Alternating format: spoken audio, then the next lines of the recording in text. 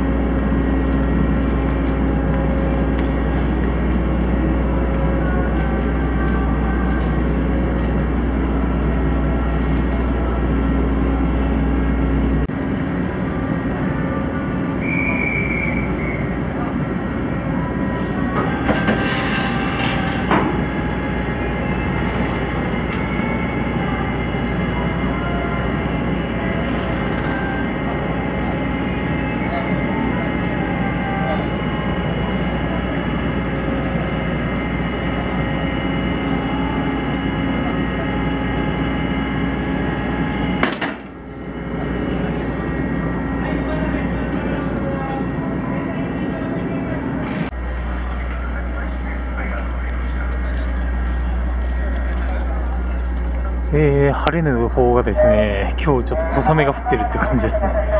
パラッパラッと来てるって感じです。えー、母島2回目ですね。2年前で来ましたし、当時もあの、日帰りででしたけども、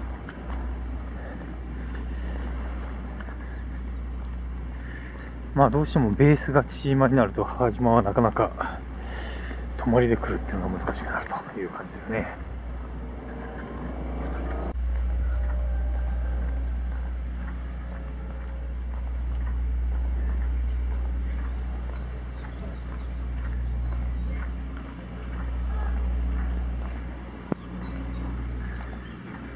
前回来た時はこの辺ですごい土砂降りの雨が降ったんですけどね。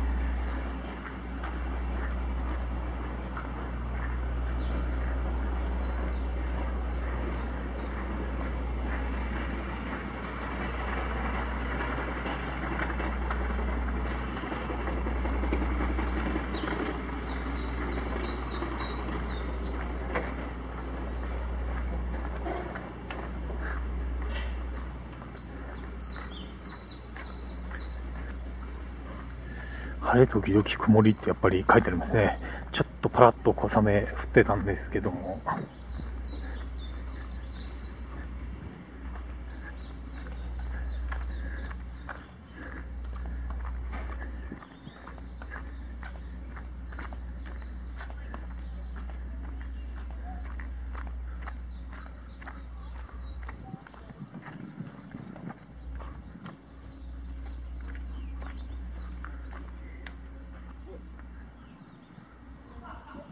えー全く水が流れてない用水路ですね。えー母島小中学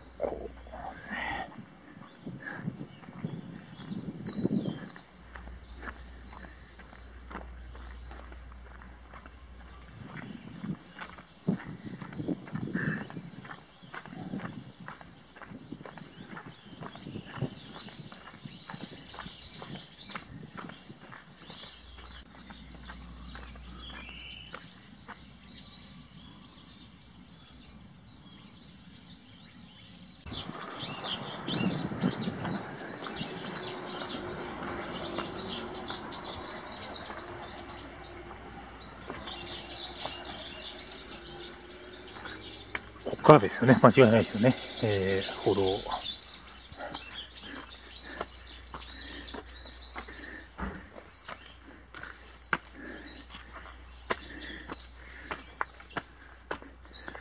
えー、行って帰ってきて4時間ってことだとすると、ちょうど、えー船の出港に間に合うぐらいの時間にはなるんですが、えーブログ等を見ますとですね、行きが頑張って1時間20分、帰りが50分ぐらいだっていう記述もありましたので、まあ、早めに歩けば多分、余裕はあるんじゃないかなとは思います。まあ、今ちょっと入り口ですけども、まあ、歩きやすいっちゃ歩きやすいですね。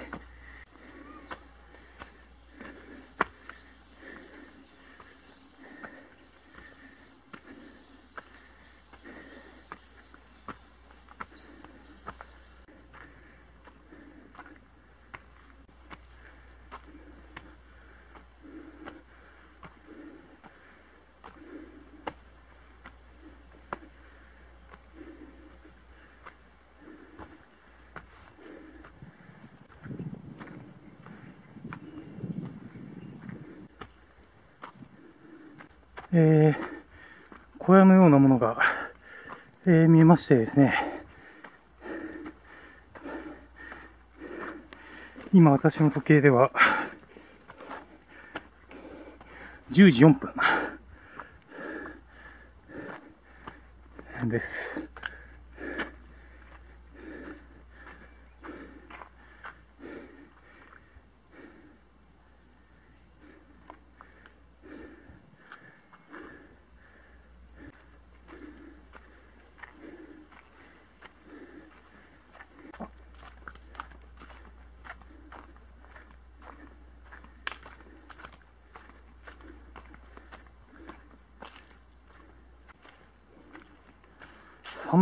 たって感じですかね。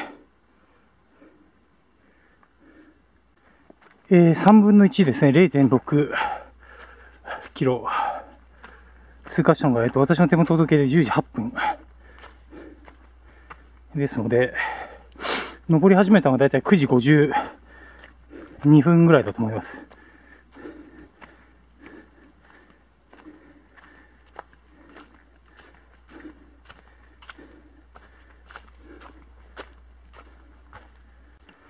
昔使ってた手すり、貼り直した感じですね。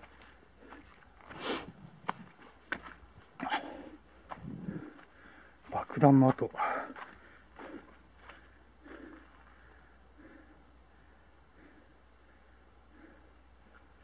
ここか、ここのことですかね。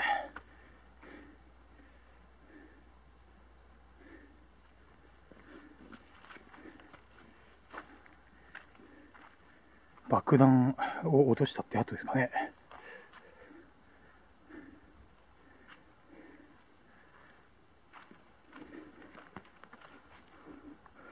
えー、手元の時計では10時12分ですね。えー、あと1.5と出てます。えー、だいぶ登ってきた感がありますね。えー、だいぶ開けてきた感じがしますね。ちょっとあんまり景色はここは、あの、こっちが良くないんですけどね。こっち側は、えー、開けてますね。ちなみにこのポイントに来たのが10時15分です。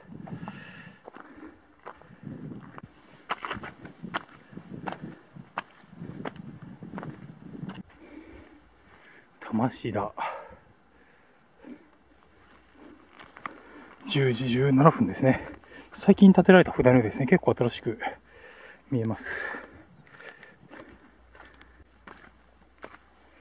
まあ、開けてるんで、迷うことはないと思うんですが、一応、道のようなものありますんでね、迷うようなことないと思いますが、あの、不安定ですね。あの、道側のところどころちゃんと設置されたとこあったりとか、こういった、ちょっと鳴らされた感じのとこだけとか、不安定ですので、えー、一応私はあの、クロックスで、えー、来てます。これでしか、これしか持ってなくてですね、あの、運動靴なんか入って、入ってこないっていうか、えー、ダイバーで、ダイビングやるために来たようなもんなので、えー、運動靴はないということで、あ、半分の地点も通過した。よかった。もう半分通過しましたね。えー、手元の時計で10時19分です。この調子でいけば、えー、30分で半分の地点ですかね、えー、通過したことになります。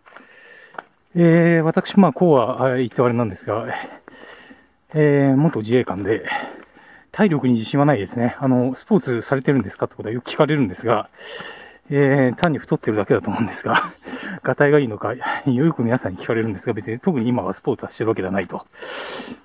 えー、ただ一時期自衛官だったことがあってですね まあ、こんなこと言うのも初めてだと思うんですが、えー、それでですね、えー、まあ、体力的に言うと、当時持久走だのなんだのって、やってた頃は、まあ大体、舞台の真ん中ぐらいだったかな、成績は。やっぱりあの、高校卒業したての子とか、スポーツが非常に得意な子が周りにいますからね、あの、推薦みたいな形で入ってくる人もいますから、あの、本当に世界、世界というか、日本の本当に高いでも、トップクラスのような人がやっぱり自衛隊来ますんでね。警察自衛隊は、自衛隊、自衛隊は。スポーツ優秀な人は、あの、警察自衛隊とか、消防とかですね、かなり今もうあの、学力は最低限ないといけないにせよ、やっぱり優遇されるという実態があるはずです。えー、あと犯罪行為してちゃダメですよね。そこはチェック入るんですが、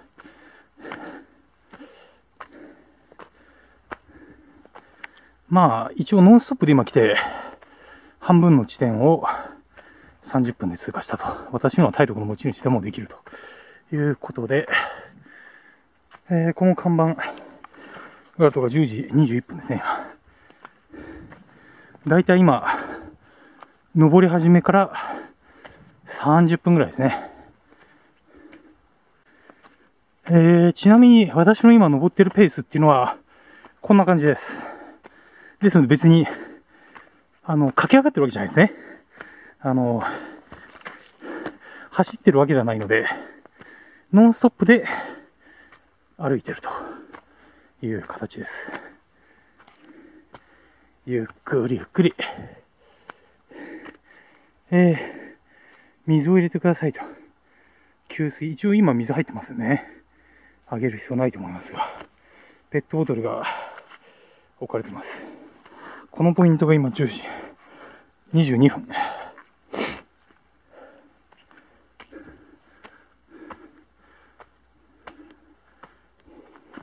ペットボトルまでだいぶ古いですね。結構干からびてますんで。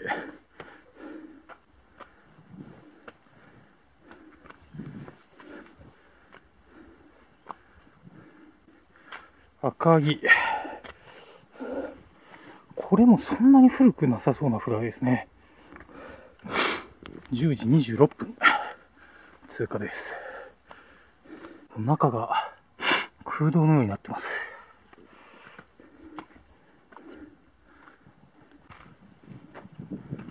えー、ここもこれ相当最近ですね。整備され直したって感じがします。非常に新しいあの木が並んでますのでね。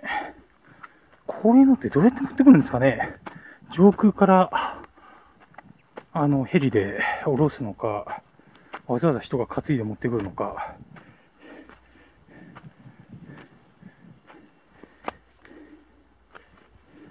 近場のところに多分なんか、上空から降ろして、その後持ってくるって感じだと思うんですけどね。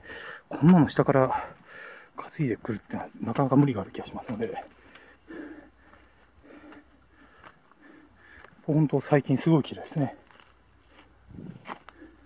これが多分古いやつだったんですかね。今のまとめて廃棄が現場でされてますが。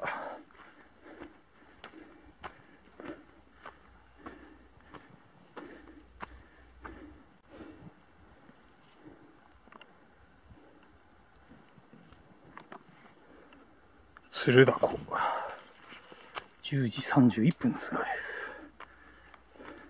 これはすごいですね。台風かなんかで倒されちゃったんですかね、多分ね。根こそぎ。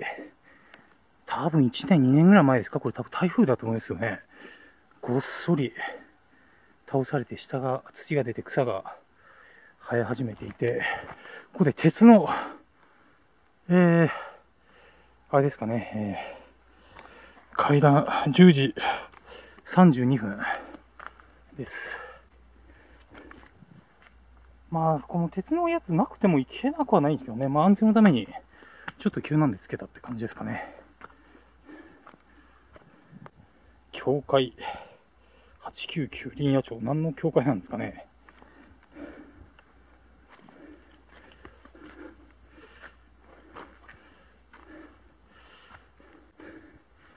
あとちょっとですね、えー、0.5キロの札が来たところが、えー今虫がついたんで飛ばしまして、10時36分です。えー登り始めてだいたい今、50分ですかね。あ、40分ですね。えー、だいたい40分でこれぐらいのところまで来れると。頑張ればですね。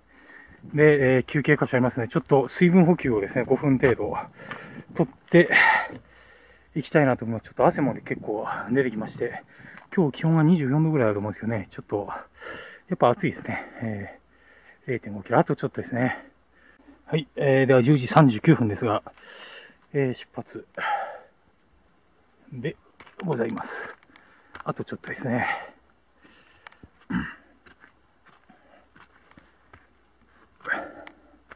えー、登山するときにですね、まあ私的には意識してることなんですが、あの、体重をなるべく前にかけた方がいいですよね。つま先で上がっていくようなイメージの方が、え疲れないと思います。あの、後ろに重心がかかりますと、全体的に足に体重がかかりますと、非常に時間がかかるし、重たくなるし、辛いので、基本的にはつま先で上がるような感じで行きますと、スイスイスイといけるのかなと私なんか思いますね。やっぱり前かがみの方が、えー、スムーズにいくんじゃないかなと思います。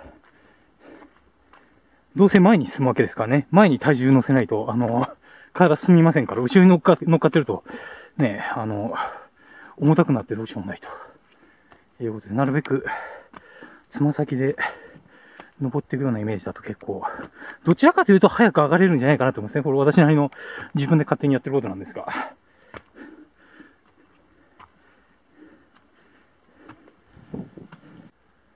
えー、今鳥がいて、母島にしかいない鳥だっていうやつやったかねですかね。これ、これですね。えー、今、ちょっとわかりにくいかもありませんが、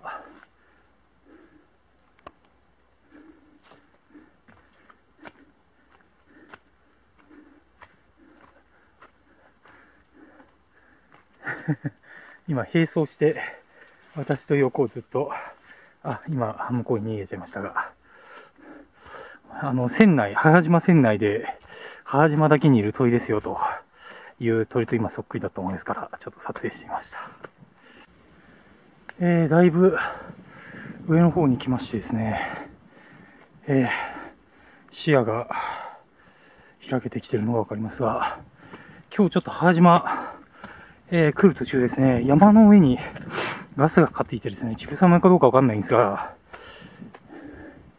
ちょっと景色がちゃんといいように見れるか不安ではありますが、今この時点でまだガスが周りにかかっている様子はないので、なんとか持ちこたえてほしいと思いますね。前回来た時はもうとにかく土砂降りの大雨で、あの、登ること自体を断念したっていう経緯がありましたけども、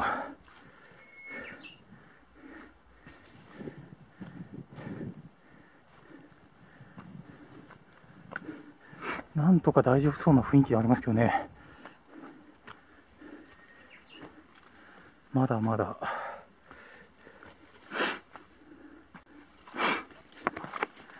ダンジョンのようなところを今通過しておりますが、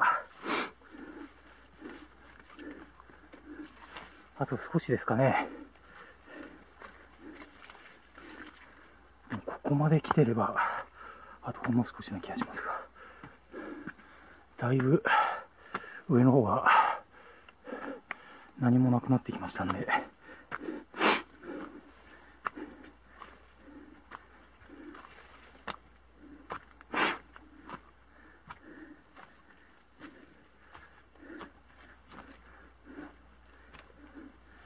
あ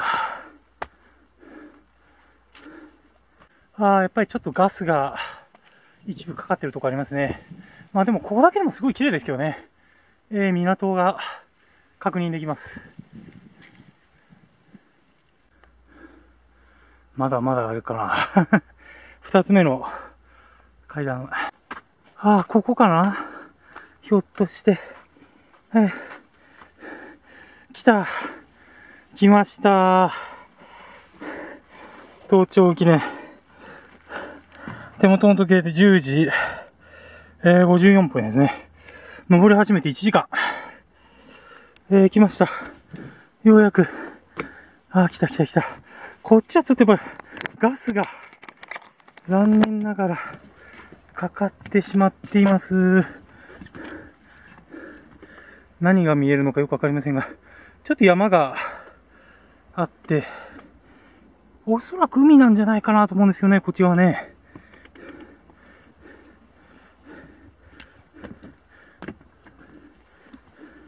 ただ、こちら側は綺麗です。まだ大丈夫ですね。あ、ちょうどあそこが、港母島丸も、えー、止まってるのがわかりますね。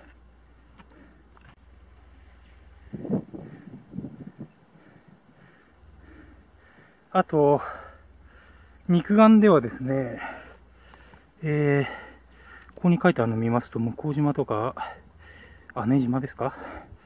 というものも、えー、一応島々も、まあなんとか今肉眼で確認はできますね。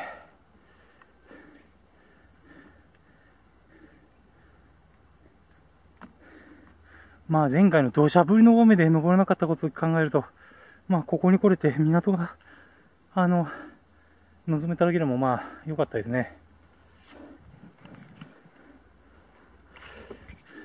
まあなんとか、えっと、今時計回りで来たんですよね。時計回りで来て、えー、時計回り降りてこうかなと思います。えー、だいたい今1時間で来れましたんで、まあ降りるときも止まらなければ多分1時間ぐらいで戻っていけれるんじゃないかなと思うんですけどね。こっち側今日もちょっと、時間待ってどうこうなる問題じゃなさそうな気ですよね。こんなにガスかかかってっちゃってるとね、さ、うん、ちょっと厳しいですかね、こっちはね。まあなんか必要があれば写真集かなんかを買うということで。一方でこっち側は大丈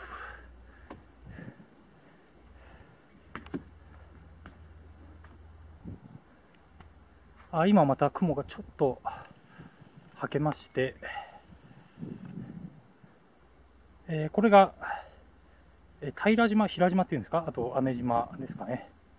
あと双子島、丸島。あと今、見えてるところですね。こっちが、えっ、ー、と、向かいって書く島で、向島、向こう島ってもんですかね。えー、あとは、えー、双子島、丸島、えー、あとは、勝踊島、小富士、妹島とかいろいろありますけども、多分今こちらの方角にで見えてるやつですね。だと思います。まあ、こう見ますと本当に母島って小さいですよね。まあ人口500名っていうだけあって、街も本当になんかこじんまりした感じですが。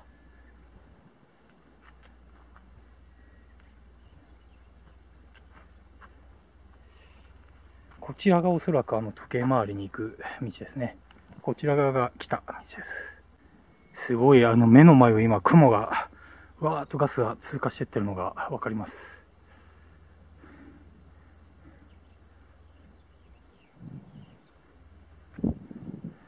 まあこっち側が見れただけでも本当ありがたいね。これも見れなかったら本当残念だったっていうことになりますが。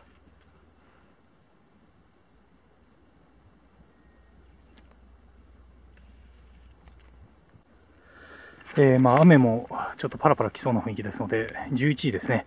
さあ、そろそろお別れしたいと思います。ありがとう。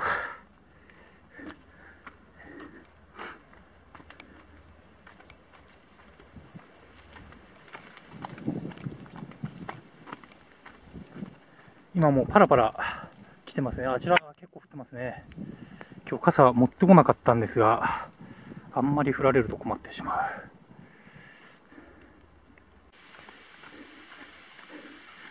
えー、結構降ってきましたね。あ、まだ通行禁止が解除されてなかったんですね。私もてっきり通行禁止解除されてたと思ってたんですけど、あ、まだダメなんですね。えー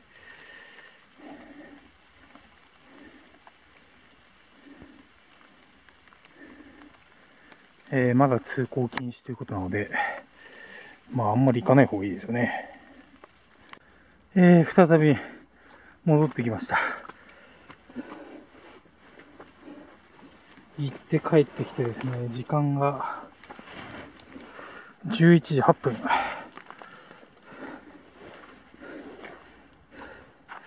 来た道を戻るしかないようなので、それで戻りたいと思います。えー、本当にまあ島の天気って不思議なもので、ちょっと離れると、えー、そんなに天気悪くないんですけどね。えー、雨も今また落ち着いた感じで、スコールのような雨ですね、ほんと。まだ体が結構濡れてるんですが まあでもやっぱり運動靴だと濡れると大変なんですよね。このクロックスだと濡れてもあの乾いてくれるというか洗うのも簡単ですし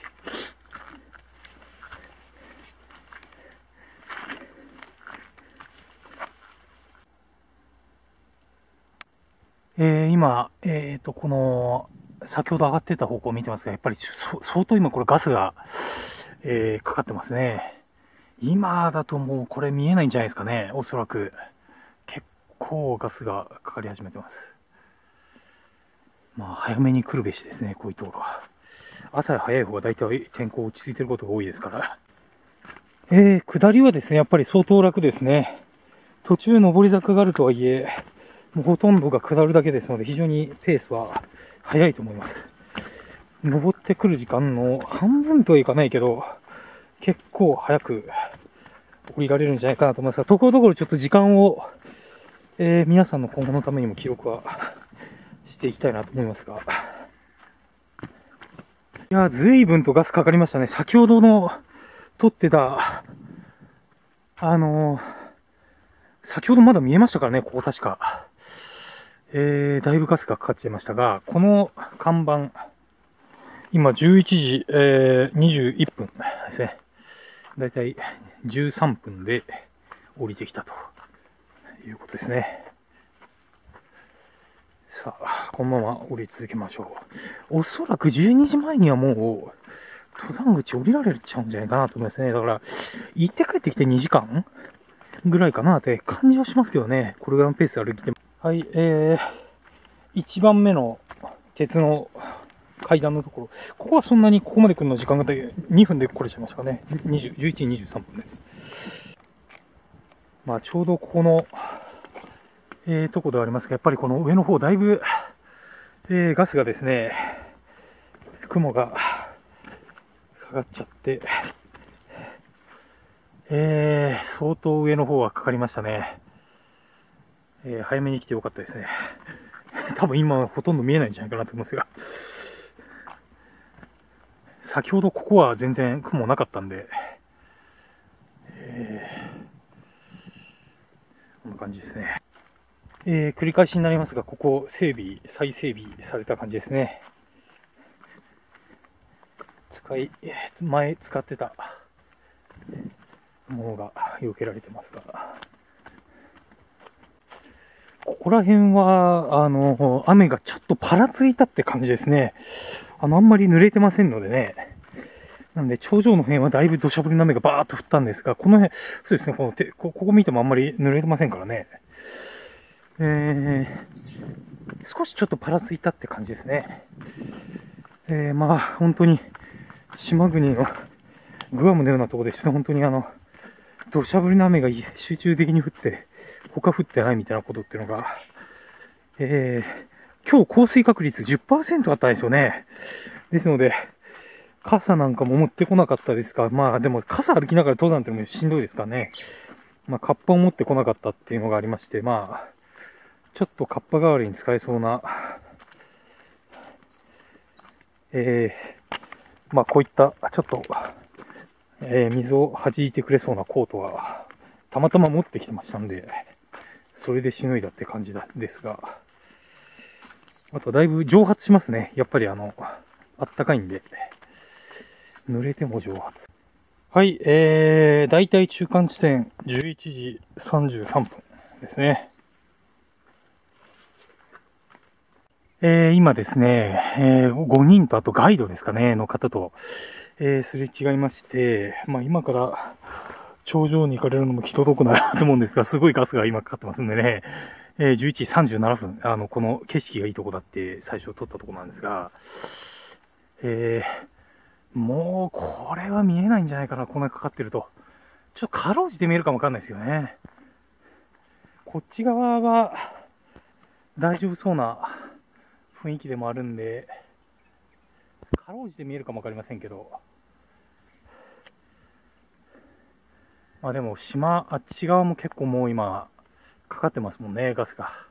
はい、えー、このスポット、11時40分ですね。爆弾の後のところですね。11時40分通過です。えー、あと2人、夫婦と思われる方ですね、が、とすれ違ったんですが、まあ 結構上、雲がかかってると思いますんで、まあ気の毒だなと思いましたが、やっぱりあのもうすでにね、上である程度、あの、景色は見たんで、今から行くとちょっと厳しいんじゃないかなと思ってしまうと本当に気の毒でありますね。はい、えー、標識0.6キロ。えー、11時44分ですね。まあ、頑張れば、行って帰ってきて2時間って感じですね。えー、あんまり途中小刻みに休憩入れなければですね、えー、だいたい登山口登り始めが9時50分過ぎになると思います。えー、母島入港数がだいたい9時30分ちょっと過ぎて、まあタラップを降りて、えー、登山口に20分くらいかけてきて、で、えー、まあ登って降りて2時間って感じですんでね。まあそうしますと、まあこのまま歩いていけば12時半には間違いなく港の方にはもう着いてしまうので、まあ1時間半残るってことですよね。ですので、まあ、日帰りで、ちぶさ山の、あの、登山っていうのは、まあ、そんな難しくはないですね。最初ちょっとあの、ブログとか見てて、一周4時間かかりますっていうんで、今、ギリギリかなと思って思ってたんですが、まあ、ゆっくり歩いてって感じですかね。やっぱり、4時間っていうのはね、ちょっと途中途中休憩も入れてっていう感じだと思います。まあ、雨も降ってきて、また降ってきましたね、雨が。パラパラ。まあ今頂上をめがけて登っていく人は この雨に揉まれて登っていくってことで、大変だ。私なんか頂上付近で降られましたからまだ良かったですけど、登ってる最中に降られるとね、嫌になっちゃいますよね。2年前の本当に、登るのを断念した豪雨を本当に思い出します。もうこればっかりは本当仕方ないですね。多分こんだけ雨も降ってきてるんで、まあ多分本当見えないと思いますね、今登っても。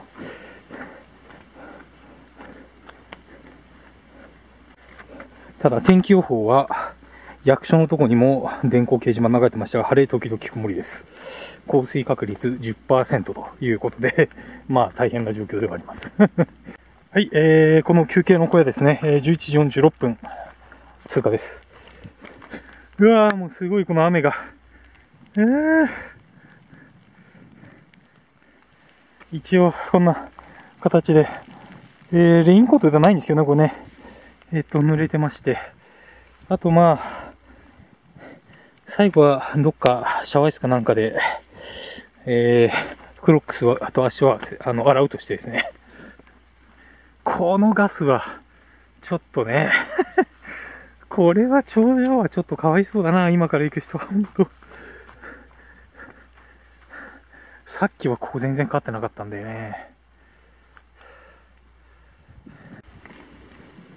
えー、まあこんな感じでテクテク降りてってますけども、前回2年前の動画のリンク貼っておきたいと思いますが、2年前来た時は結構あの、登るのを断念途中でしまして、最終的にバイクを借りてですね、母島を北から南まで道路を渡りまして、えー、学校の後とかですね、えー、見に行ったという覚えがあります。まあ今日はちょっと同じことやる予定はないんですけども、まあ、前回見ましたからね、港も行ったりとか、南の方ですね。前、あの、使われてた港なんかがあったと思うんですが、私の記憶では。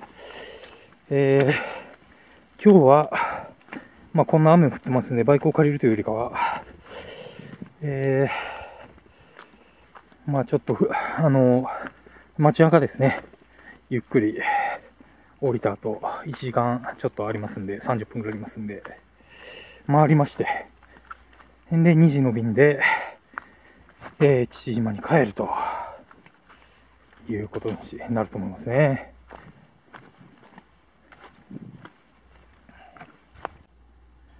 えー、今日の天気晴れ、小笠村10%、21度から25度。えー、それでですね、雨雲レーダー、ヤフーの雨雲レーダーなんですが、全く反応がないんですね。なので、本当局地的なんだと思うんですよね。全然ないんですよね、雨雲が。レーダーののとこに。ああ、下界が見えてきました。えー、ようやくですね、えー、車、家、家っていうか建物、見えましたね。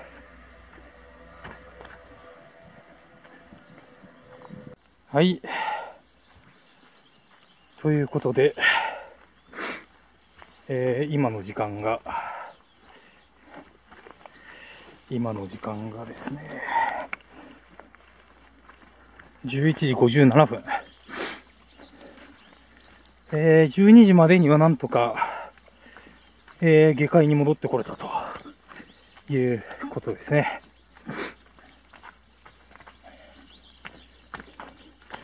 9時50分から登り始めて、10時50分、11時50分、まあ2時間ちょっとですね。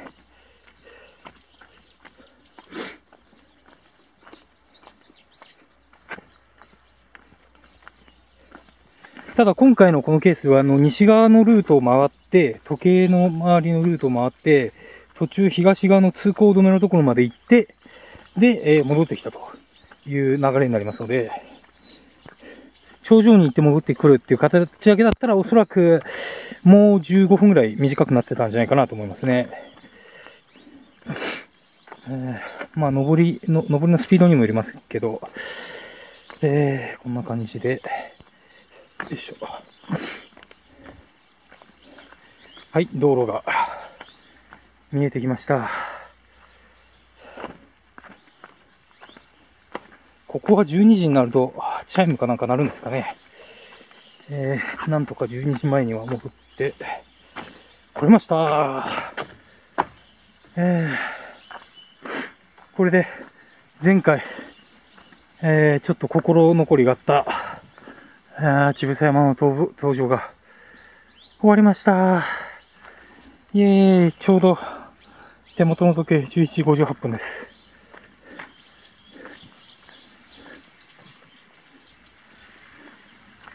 ここも結構雨降ってますね。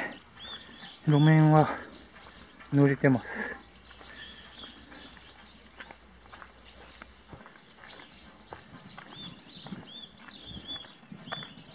上はですね、あそこガスがかかってるところだと思いますね。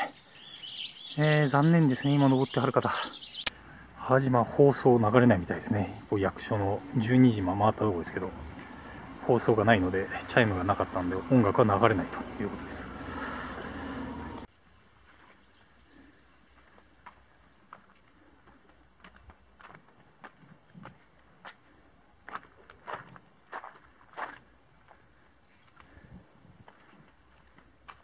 ね、はい、めったにないけど。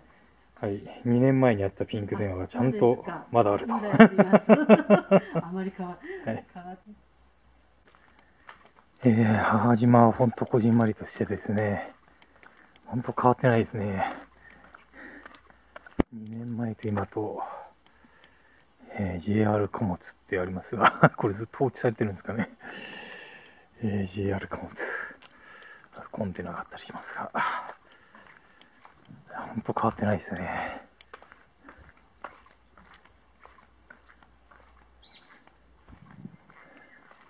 一応ですね、足と、えー、このクロックス、ああの、ローズ記念館で洗うことができまして、あの、ホースがあってですね、一応あの、ここの場所であれば使っていいですよって書かれてる場所がありまして、えー、そちらでちょっと泥を洗いようとさせていただきました。居酒屋、居酒屋とは見えないですね。本当なんか、一般の家とかいう感じがしますが。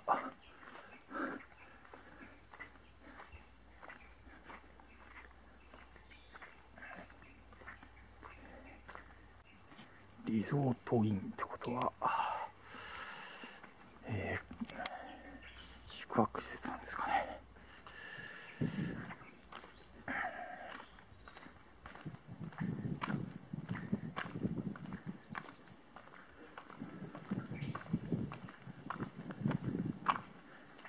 えー、随分とガスがかかってますね。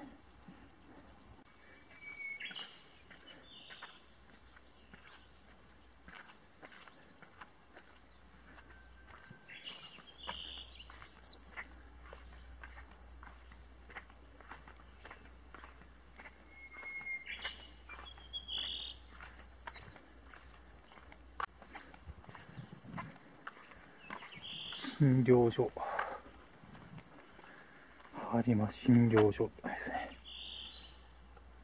公衆電話あったりします。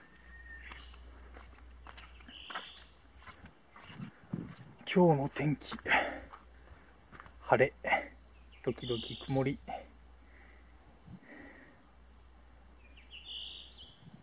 降水確率10%だって基本まあ、父島の予報でしょうね。早島というよりかは父島の予報を出してますから、だからまあこんなことになっちゃうと いうことですね。あ、ここが貯水池なんですね。えー、沖村貯水池。はい、えー、排水池って書いてありますね。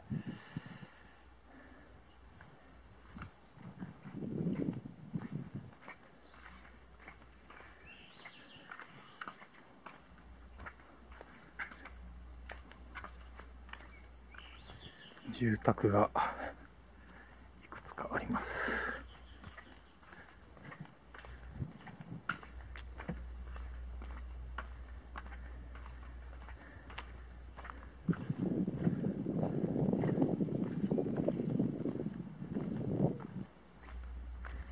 懐かしいですね。ここ、バイクで登って降りたっていう覚えもあります。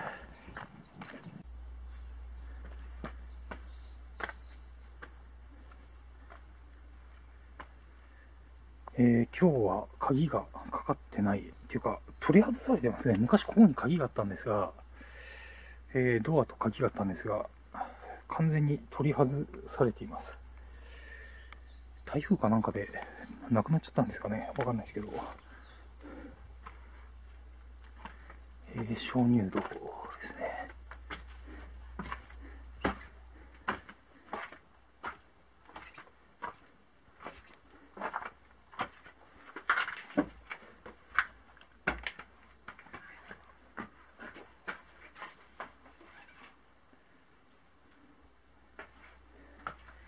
昔もっと奥まで行けたんですけどね。な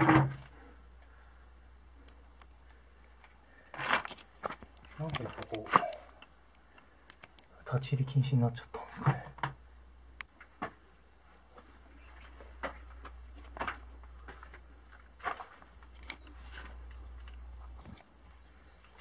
一応電気はついてまして、一応ここまで、そんなに奥深くはないですが、来れましたね。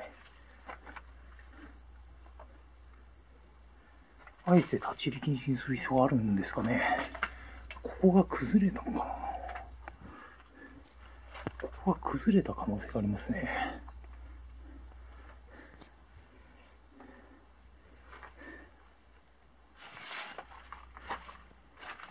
前こんな上開いてなかったと思うんですよね。崩れた可能性があります。それで立ち入り禁止にしてるのかな。まあ前、過去2年前来た時の動画撮ってますので、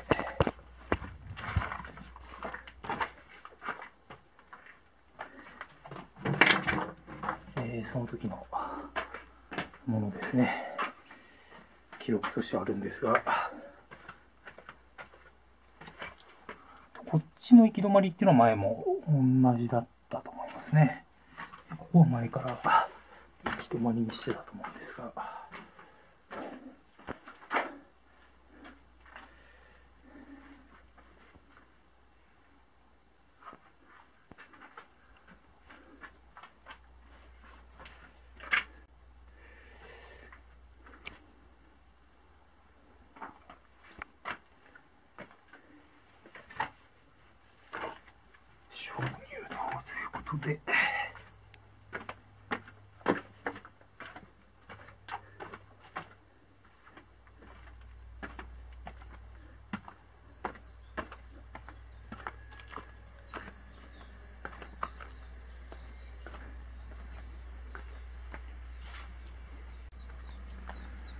さて、母島出港まであと1時間半あります。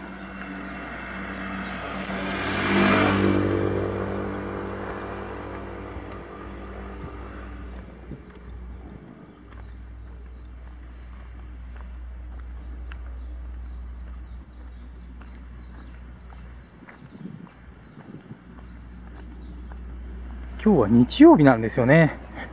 なんで、ちょっと平日ではないんで、それもあって街中静かっていうのもあるでしょう。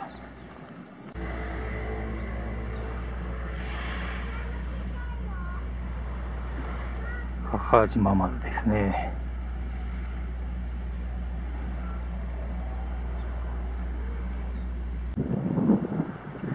えーはちゃめちゃの自動販売機ですね。お金が入れるところはブロックされてないのはなぜなんだろう。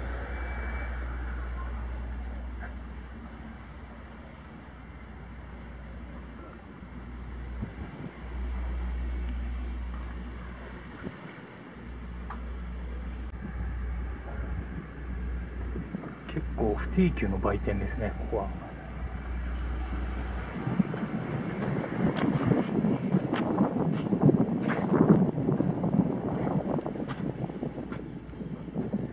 値段的にはまあ、定価かな。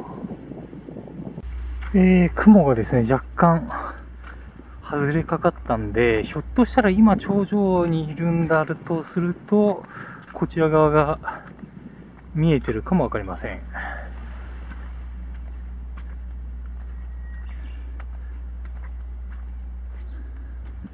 ただ、やっぱり向こう側見ると結構ガスがかかってる感じはするんですよね。ですのでちょっとわかりませんけど、こっち側は結構上空、上空は晴れてきたって感じですね。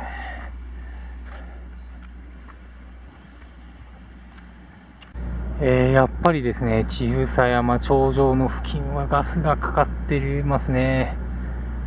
うん、しんどいですね、この状況だと。多分こっち側何も見えないでしょうね。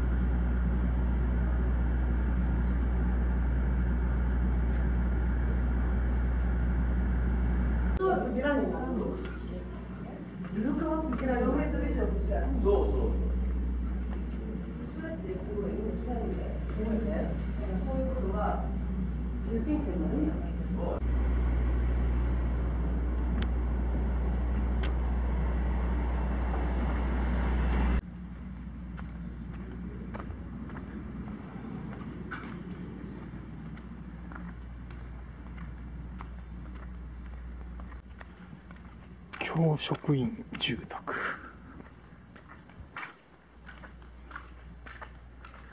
ここはペンキを塗り替えたのか民宿ワントネって書いてます。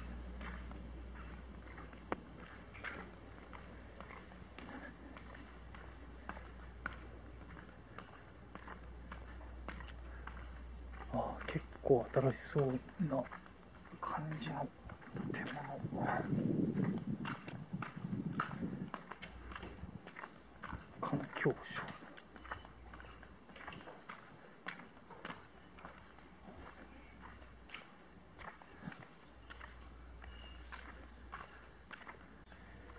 えー、懐かしいですね。2年前、バイクを借りたユースホステルがこちらですね。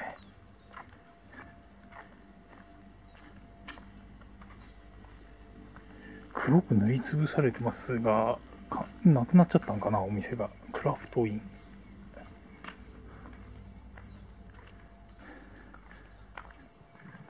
あ、ここもペンキは塗り直した感じがしますね。昔白だった感じますね、2年前は。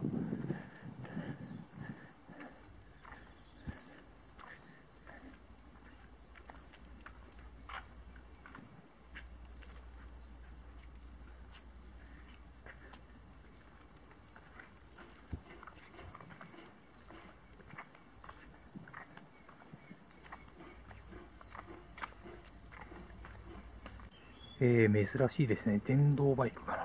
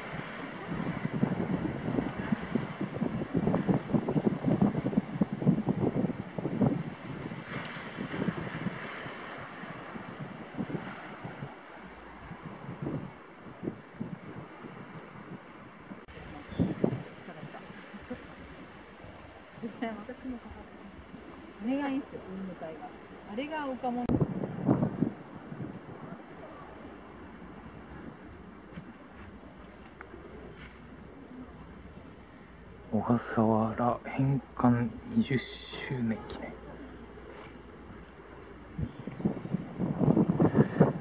えー、やはり千草山は山頂はガスがかかってますね。朝とはちょっと違う。いやまあ雨は降ってなさそうな雰囲気ですけどね。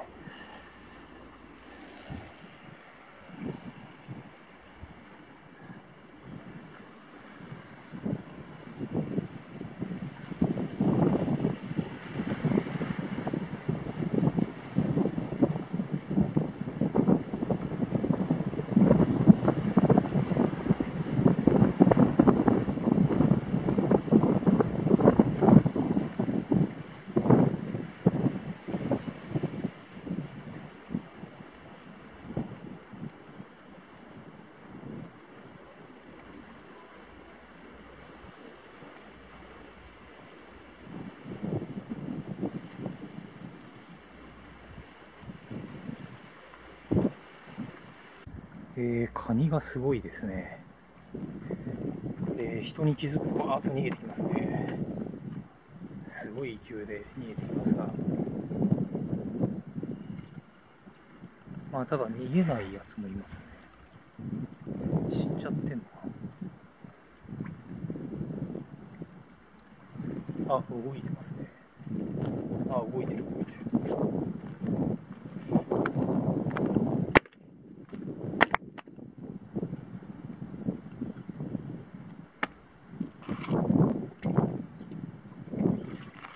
逃げようとしないや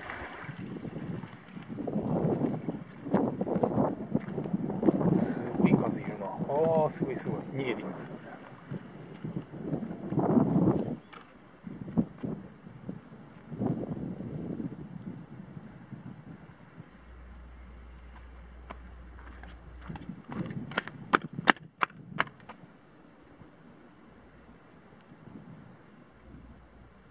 おお、すげえでかいのもいますね。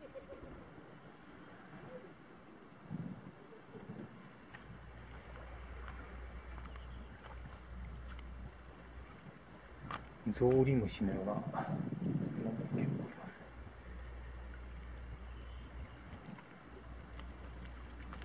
えー、中世山ガスがすごいですね。残念だな、今登ってった人たちは。ほんとさっきすれ違った。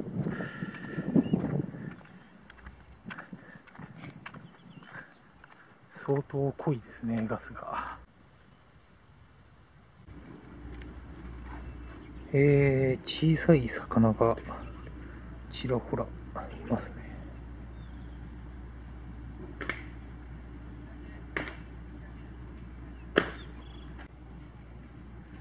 ちょっと透明度は悪いですけどね。魚はいるって言えば言いますね、結構。結構水面近く泳いでるやつもいますね。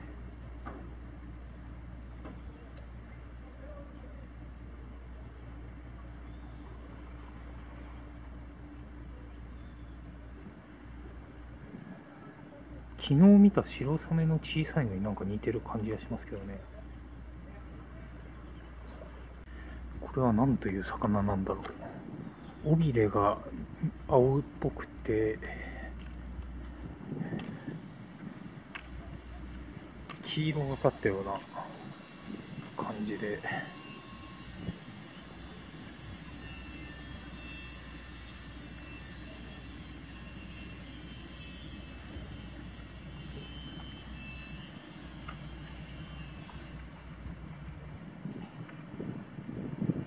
あこっちもすごいですね。こっちは結構大物が、なんかでかいのが、ね、なんか、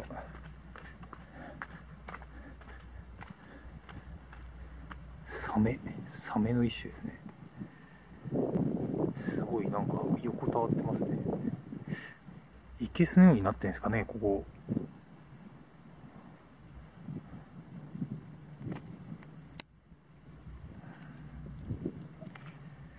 ひょっとしたら、あの捕獲してここで飼育されてるのかも分かりません。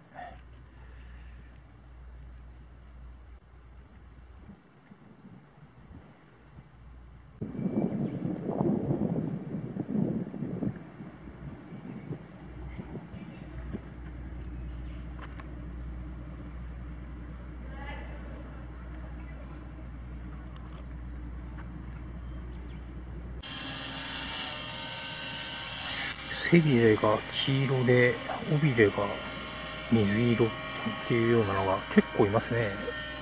集団で泳いでるのがいます。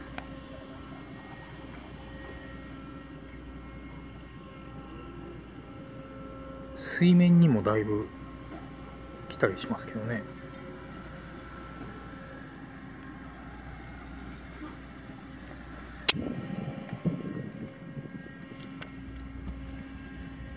えー、鳥がすごい数いますね。